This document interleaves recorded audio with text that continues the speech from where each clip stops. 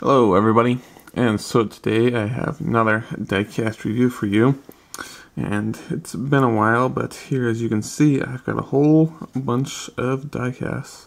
Um, a lot of these were ones that have um, been out for a while, varying ones. I kind of went back and got some other ones that I hadn't gotten, and so here they are.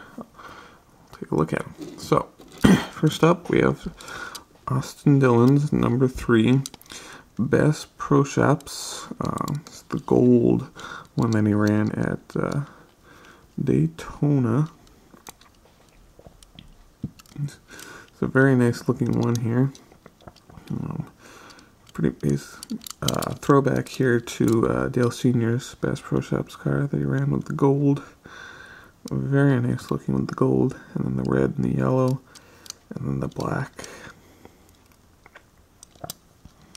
Just overall very nice looking. Tracker boats and ATVs on the back, etc. Yeah, a very nice looking car though. And next we have Chase Elliott's number 9 Mountain Dew Team Rubicon that he ran Daytona in the Clash.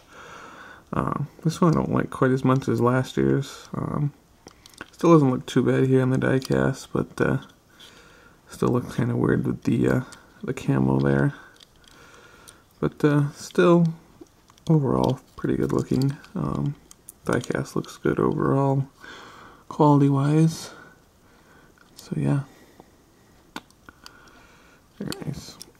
and next we have Kyle Busch's number 18 M&M's chocolate bar. So this one's a little different. I don't like it quite as much because I just don't think the uh, the brown and the yellow go together real well on this. But uh, this has the cool characters there. Kind of getting sucked into the chocolate almost. but uh, yeah, very very chocolatey, I guess you could say, on this this car. Yeah, got the red guy in the front, the yellow guy, and the orange guy on the other side there. Yeah, and then uh, the M&M minis in it, in the chocolate bar.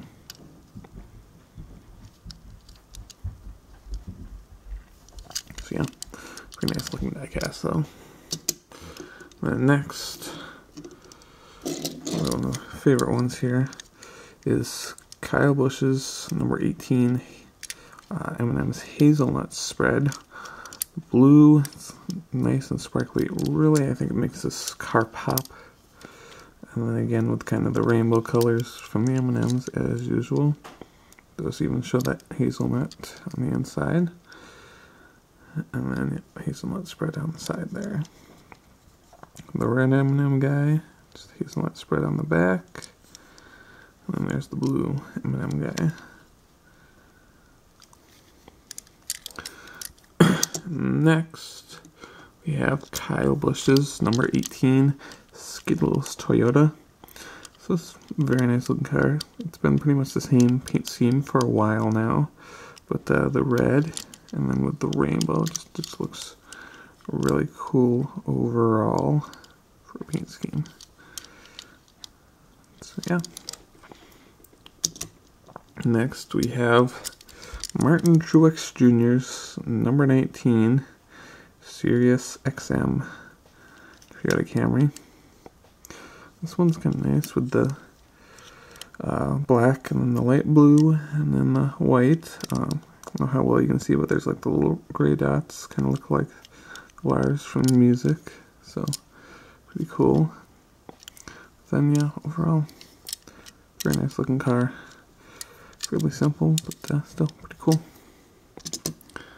And we have Erik Jones, number 20, Stanley, Toyota Camry. This one's pretty basic here. Um, the yellow there on the front. And kind of this cool design here on the side, going back and getting more black here with the Stanley there. But uh, yeah, pretty cool. Razors there, as you can see, in the quarter panel. And yeah, that overall, nice looking paint scheme. Nice paint scheme. Then we have Joey Logano's Number 22 Pennzoil car. This one's very more the yellow compared to the Shell Pennzoil. Kind of an interesting design that they've had here with this kind of pattern. Makes it a little darker, but uh, still pretty interesting. Still pretty cool overall.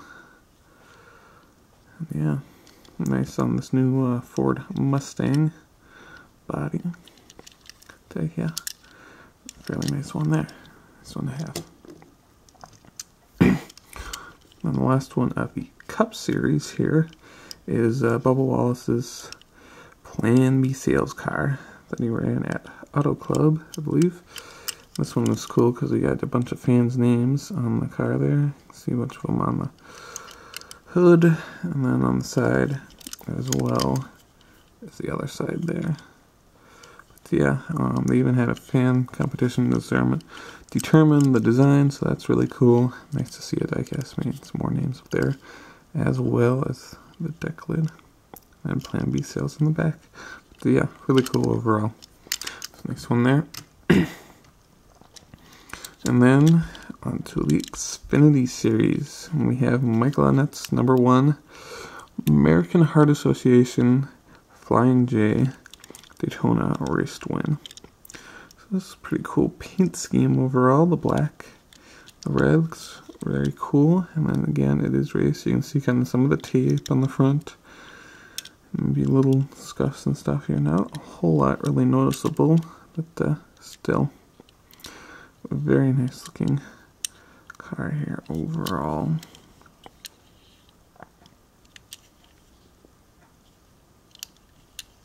It's very nice, very nice. Next we have Justin Allgaier's number seven Brandt Chevrolet Camaro here. This one, a uh, little different design than the uh, Brandt car this year. Kind of like how it's got the fields, like the background. Just kind of cool on the car there to see that. But again, that nice bright orange makes it pop on the track there as usual. But uh, yeah, very nice overall. And we have Ryan Truex Number eight, Marquis Spa.